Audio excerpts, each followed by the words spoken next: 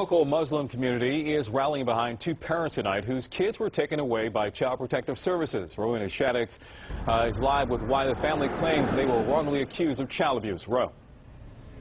Well, Rick, the family does have medical reports that they say will prove their innocence, but the family's attorney says things are only getting worse because the parents recently lost all of their rights to their kids, which means their children can now be adopted.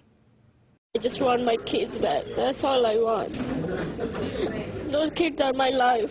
And that life changed forever for Fakir Fuzal more than a year and a half ago when CPS took away her two daughters, ages two months old and 15 months old at the time. This is my very humble request to the CPS and everybody who involved in this case with us. Please, we just want our kids back. For the father, Chaudhry Sharif, the separation likely hits him a bit harder. Authorities believe he broke his two-month-old daughter's arm. It was in July of last year when Chaudhry brought his baby to the ER when she wouldn't stop crying. Cops came to investigate and later arrested him for abuse. And we, we did without kids. I know we did not did anything. Why they're doing this with us?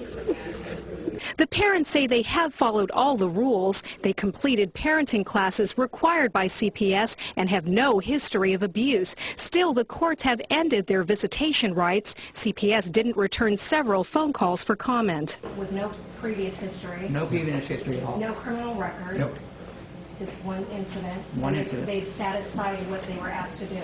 Yes. Meanwhile, the kids are still in foster care. Local Muslims are urging CPS to reunite the family. on the behalf of the Muslim and Pakistani community to resolve this very long outstanding issue. The family has turned to doctors to conduct an outside investigation. They determined the baby suffered injuries during the birthing process, which involved a vacuum-assisted C-section. The infant also had a vitamin deficiency, which could have affected the fracture. This entire family will be destroyed because of this incident.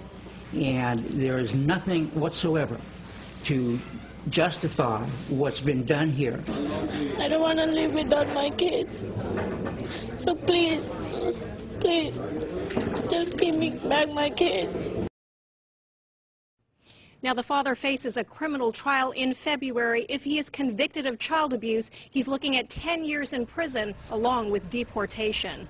All right, a story we'll be following for you, Ro. Thank you. you